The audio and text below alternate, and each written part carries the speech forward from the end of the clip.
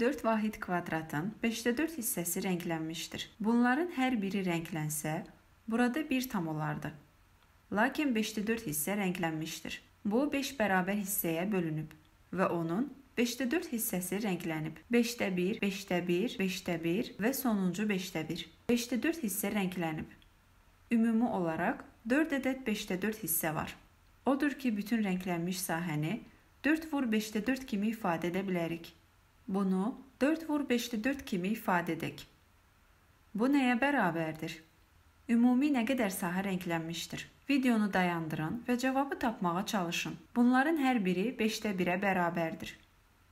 Bunu aydın görmək mümkündür. Bir tamı götürək və onu 5 bərabər hissəyə bölək. Bunlardan hər biri 5də 1-ə bərabərdir. Bu 5də 1-ə bərabərdir. Neçə ədəd rənglənmiş 5də 1 var?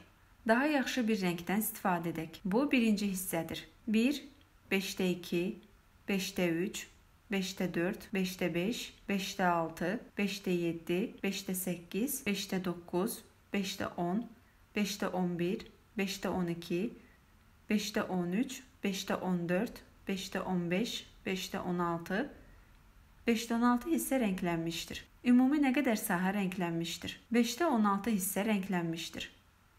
5də 16 kvadrat vahid 1 tam 1 kvadrat vahidə bərabərdir. 5də 16 kvadrat vahid rənglənmişdir. Başqa bir nümunəyə nəzər salaq. 6-nın 3də 2 hissəsi nəyə bərabərdir? Burada 6 üçbucaq verilmişdir. Gördüyünüz kimi burada bir ipucu verilmişdir. Onlar 3də 1 hissələrə bölünüb. Onlar 3 bərabər qrupa bölünmüşdür. Birinci qrup, ikinci qrup, üçüncü qrup. Bunların hər biri 6-nın 3də 1 hissəsidir. 6-nın 3də 1 hissəsi 2-yə bərabərdir. 6-nın 3də 2 hissəsi isə 2 qrup 3də 1 deməkdir. Bu birinci qrup. Bu isə ikinci qrup. 6-nın 3də 1 hissəsi. Bu iki hissəni birləşdirsək, 6-nın 3də 2 hissəsini tapmış olarıq. Burada 1, 2, 3, 4 üçbucaq var. Ümumi 4 ədəd üçbucaq. Başqa bir nümunəyə baxaq. Bu bir qədər daha maraqlıdır. 4-ün 8də 5 hissəsi nəyə bərabərdir? Burada 4 düzbucaqlı var. Birinci düzbucaqlı, ikinci düzbucaqlı, üçüncü düzbucaqlı, dördüncü düzbucaqlı. Hər biri 2 hissəyə bölünmüşdür. Bunların hər biri 2 hissəyə bölünüb. 2də 1, 2də 1, 2də 1, 2də 1, 2də 1, 2də 1, 2də 1, 2də 1. Onlar niyə bu ipucundan istifadə ediblər? Bu yarım hissələrin hər biri bütün 4 tamın 8də 1 hissəsidir. Bu nə deməkdir? Burada verilən 4 tamı 8 bərabər hissəyə bölsək, həmin 8 bərabər hissədən biri bu olar. Bu bir tamın yarısına bərabərdir. Bunu başqa formada ifadə edə bilərik. 4-ün 8də 1 hissəsi 2də 1-ə bərabərdir. Doğrudur. 4 tamı 8 bərabər hissəyə bölsək, 1 tamın 2 hissəyə bölündüyünü görərik. Suala nəzər salaq. 4-ün 8də 5 hissəsi nəyə bərabərdir? Bu 8də 1-dir. 8də 2, 8də 3, 8də 4, 8də 5.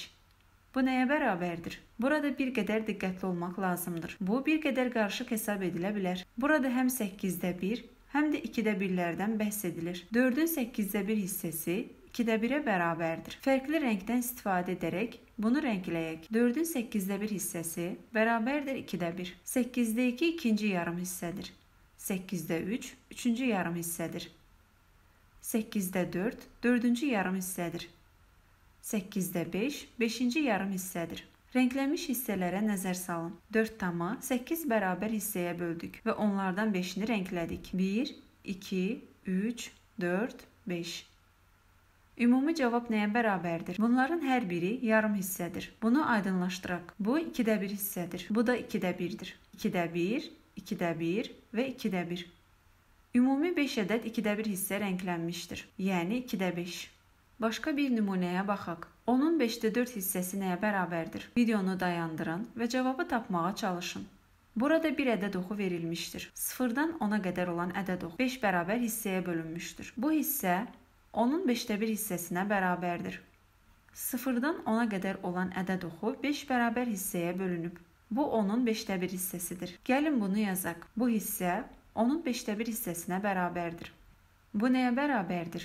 Bu 2-dir. Onun 5də 1 hissəsi 2-yə bərabərdir. Onun 5də 1 hissəsi bərabərdir 2.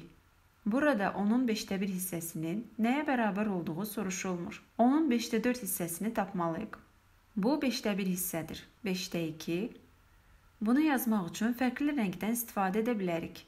Onun 5də 1 hissəsi, onun 5də 2 hissəsi, onun 5də 3 hissəsi və onun 5də 4 hissəsi. 5də 4 hissə buna bərabərdir.